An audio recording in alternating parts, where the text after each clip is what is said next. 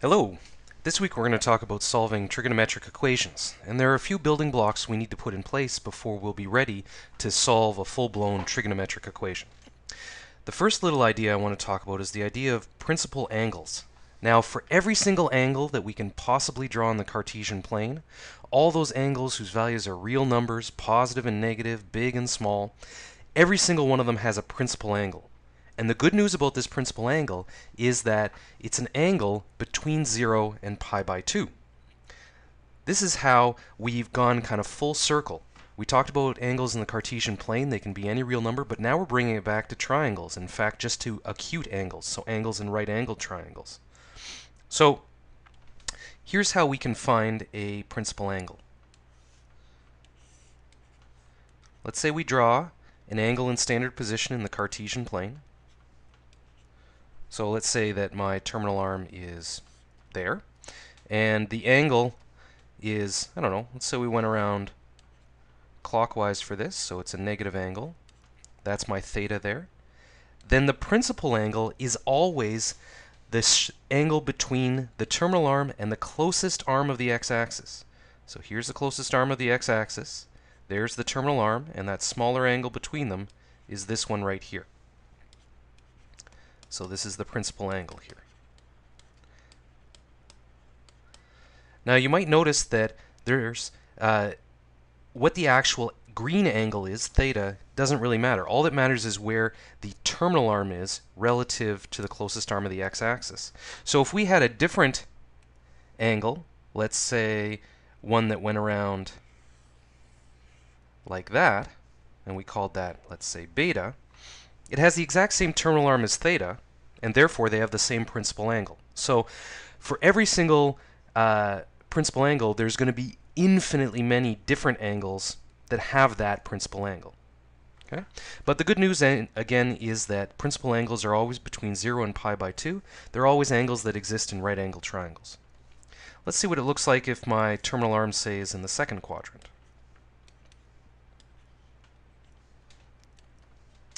Okay, so here we've got uh, a terminal arm, maybe for this angle here, let's call that one theta. Then again, I look at my terminal arm and I find the closest arm of the x-axis, that's this here. And my principal angle is going to be this small angle here. Okay? We always treat it as positive when we talk about it. And we'll do some concrete examples in just a moment. Let's do one more example. Uh, I don't know, let's choose a terminal arm in the fourth quadrant.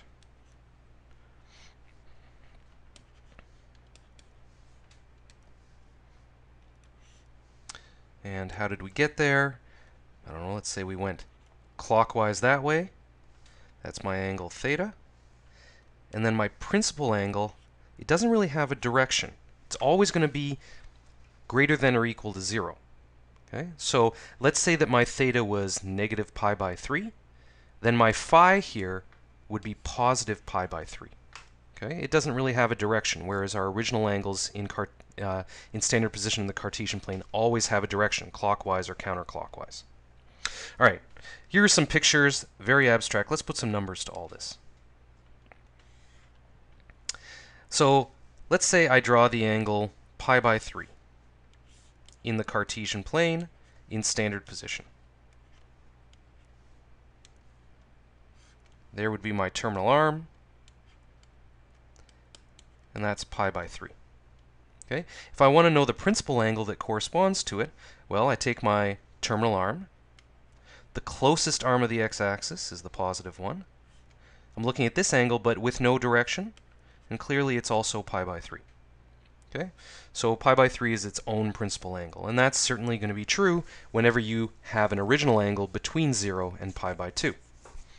Okay, but for any other angle, the principal angle and the original angle are going to be different. So let's say I look at 5 pi by 4.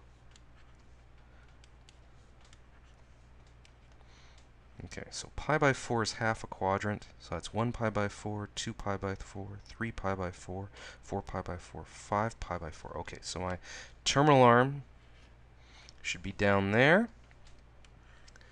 Counterclockwise, since it's a positive angle, there's 5 pi by 4. Now if I look for, I've got my terminal arm, the closest arm of the x-axis is the negative 1. that means this is my principal angle right there. And from how we've constructed 5 pi by 4, we know that that angle there is just pi by 4. Okay, we went pi by 4 beyond that negative arm of the x-axis to get to our terminal arm. What if we have a negative angle here?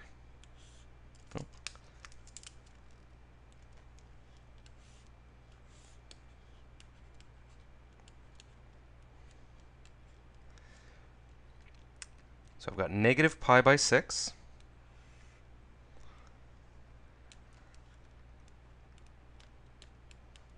going clockwise.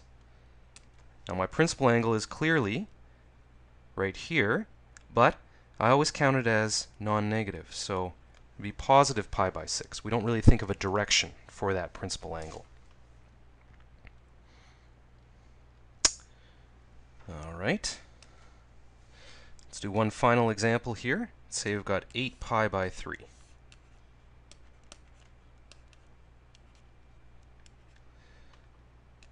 Now pi by 3, there's 1 pi by 3, 2 pi by 3, 3 pi by 3 is the negative arm of the x-axis, 4 pi by 3, 5 pi by 3, 6 pi by 3 is 2 pi, that's one full revolution, 7 pi by 3, 8 pi by 3. Oh, I can do better than that. So 8 pi by 3 is a full revolution, counterclockwise, ending up there. Now if I look at that terminal arm, where's the closest arm of the x-axis? Well, it's the negative arm of the x-axis. My principal angle will be that angle there. And what is that angle there? Well, we know from how we built up 8 pi by 3, it's got to be exactly pi by 3. Okay, so there's the principal angle that goes with 8 pi by 3.